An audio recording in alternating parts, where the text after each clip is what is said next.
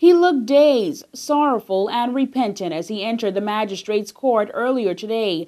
Sean Stanford was on his way to answer the charges of murder, the murder of his 51 year old wife, Letitia Stanford, who was found slain in her Blue Hills apartment on December 1st. The body was discovered by police around 4:55 p.m. at the Samers Run apartment building. It marked the second domestic clash turned deadly in less than 5 months, and it led to a manhunt for Sean Stanford, who was later turned in to police officials by his mother.